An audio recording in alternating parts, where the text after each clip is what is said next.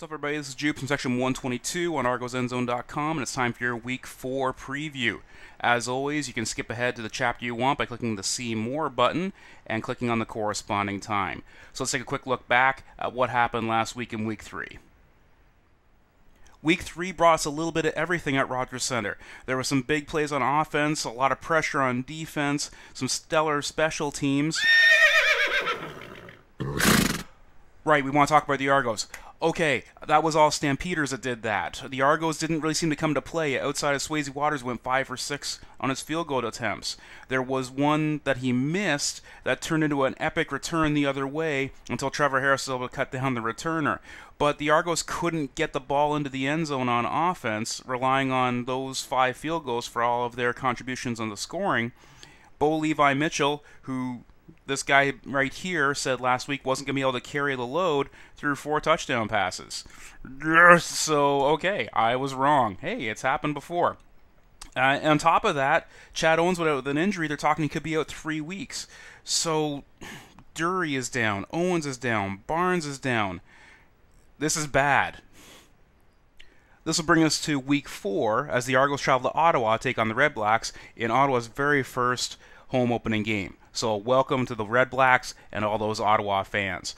Ottawa will be running with Chevon Walker carrying the ball and Henry Burris throwing the ball. The Argos, losing those three top receivers, are going to be looking for other guys to pick up the slack. Anthony Coombs did well in the Durie slot last week, and Curtis Steele is, I think, close to a breakout game. So it'll be interesting to see how things go. Uh, the Argos, in theory, losing that pass attack will try to grind it out a little bit and keep the ball out of the hands of the Redblacks offense, but they will have to contend with Jason Pottinger, former Argo, lost in the expansion draft. So how's it going to go? It's going to be a tough call. Again, you want the Argos to move the ball through the air, so we're going to have to see somebody else step up, like John Chiles, Spencer Watt. Anthony Coombs played well last week. We'll have to see how that progresses for your fantasy week, I'm feeling a little bit like the kiss of death. You know, I suggest Andre Durie, he goes down with the injury. I suggest Chad Owens, he goes down with the injury. So part of me wants to pick the entire Hamilton Tiger Cats team.